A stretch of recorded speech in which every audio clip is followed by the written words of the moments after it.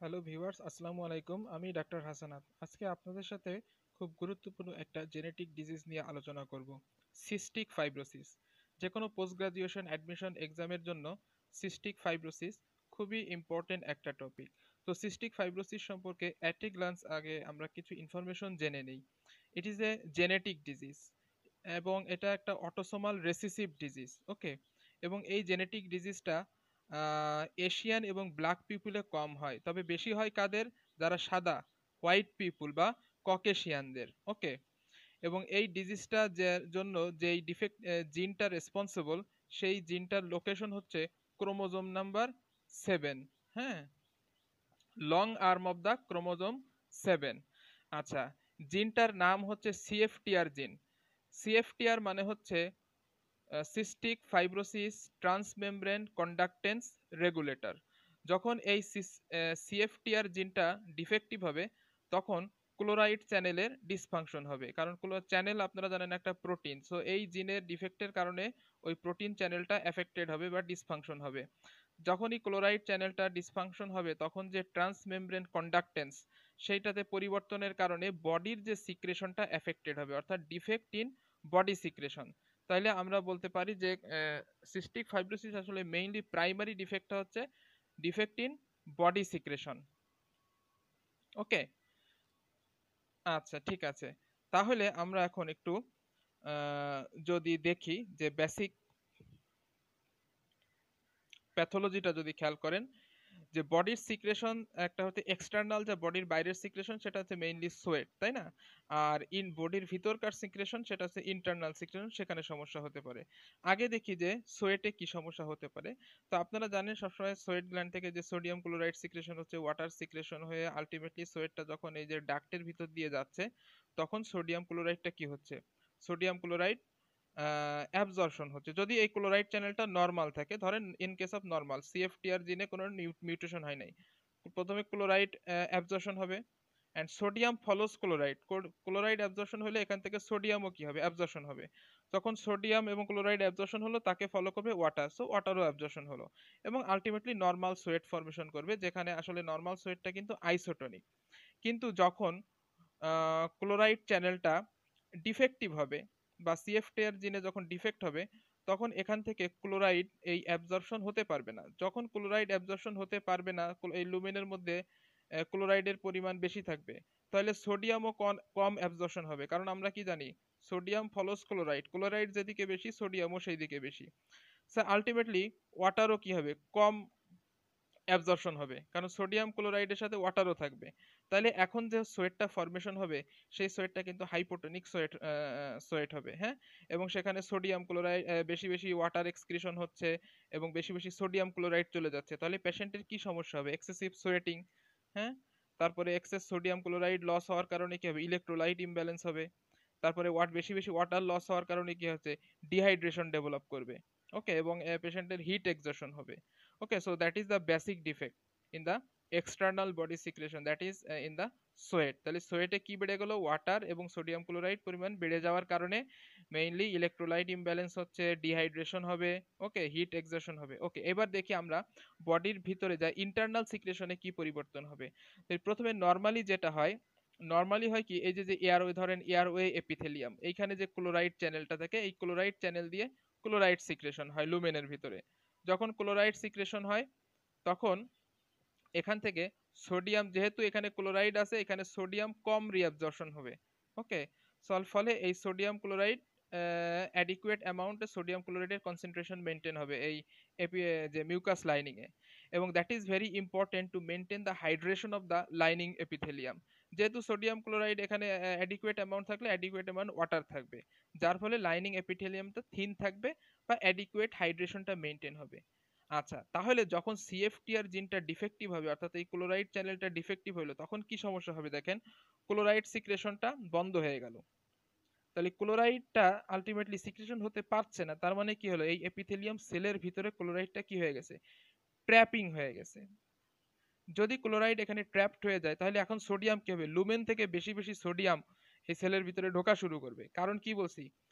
Sodium follows chloride যখন sodium ঢোকা শুরু করল, তার সাথে ওয়াটারও ঢোকা শুরু করবে।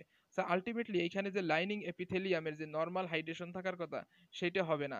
সেটা এখন কি হয়ে গেল? থিক হয়ে গেল এবং স্টিকি হয়ে গেল।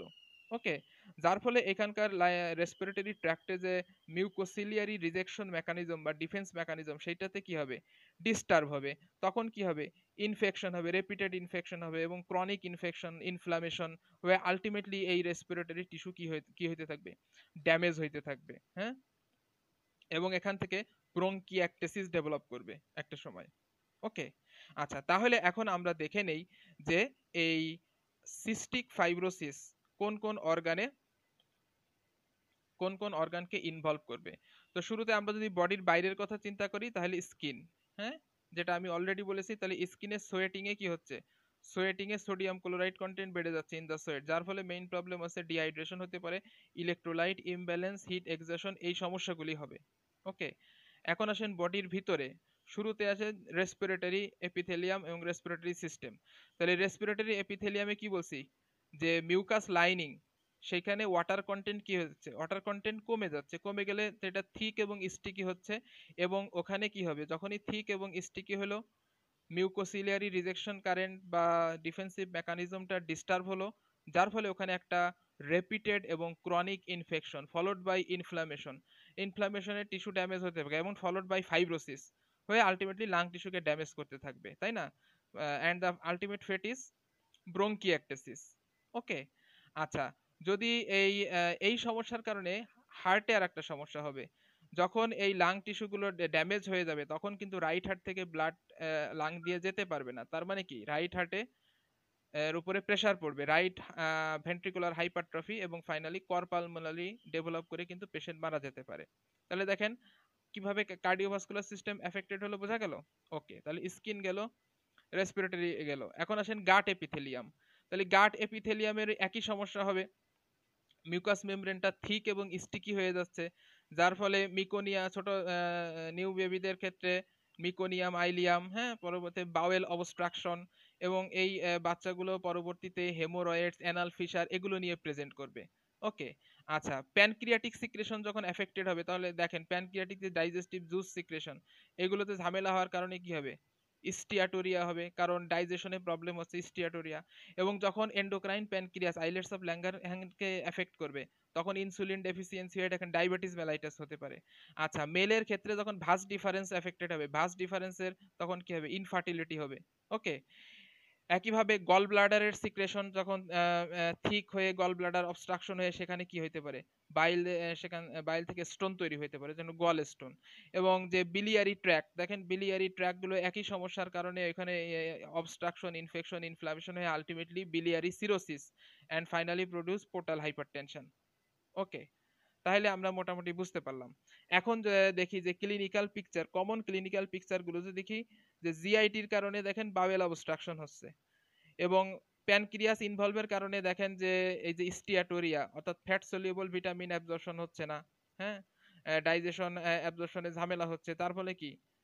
এটা বাচ্চাটা কি হবে? একটা নিউট্রিশনাল ডেফিসিয়েন্সি ডেভেলপ করবে।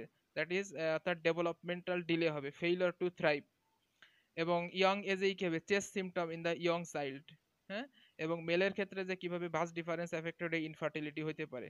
Okay so these are the common clinical picture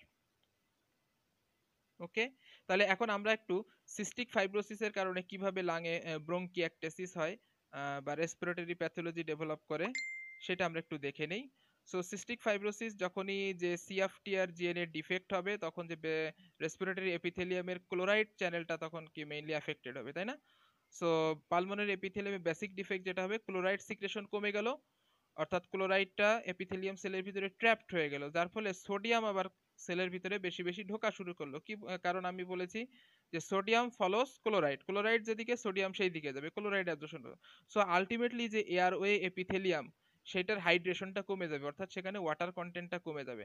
কারণ সোডিয়াম যখন ভিতরে ঢুকে গেছে, সাথে সাথে ওয়াটার কেউ নিয়ে গেছে, কারণ ওয়াটার ফলো সোডিয়াম। আচ্ছা লাইনিং এপিথেলিয়ামটা তখন কি হয়ে গেল? ড্রাই হয়ে গেল, তাই না? অর্থাৎ dehydration of the airway lining যখন ডিহাইড্রেশন এটা থিক এবং স্টিকি হয়ে গেল আমরা জানি যে পেরিসিলিয়ারি ফ্লুইডটা হ্যাঁ যেটা periciliary fluid become thick and more sticky যেটা এটাই বললাম। তখন যে মিউকোসিলিয়ারি রিজেকশন কারেন্ট বা ট্রান্সপোর্ট সিস্টেম যেটা অত্যন্ত গুরুত্বপূর্ণ লাং ডিফেন্স মেকানিজম সেটা ইম্পেয়ার্ড হলো। যখনই ডিফেন্সটা ইম্পেয়ার্ড হলো, তখনই কিন্তু সেখানে একটা রেপিটেড ইনফেকশন এবং ultimately chronic infection inflammation damage হ্যাঁ inflammation mediated damage and repaired by fibrosis এবং আলটিমেটলি দেখেন ব্রোঙ্কিয়াকটেসিস হ্যাঁ? So that is the very basic pathology হ্যাঁ? আমার মনে হয় যে এতটুকু যদি বেসিক নলেজ আমাদের থাকে, তাহলে আমরা সিস্টিক ফাইব্রোসিস সম্পর্কে, আহ, মোটামুটি প্রশ্নের উত্তর দিতে পারব বা এমসিকিউ দাগাতে সক্ষম হব বলে আমি আশা করতেছি।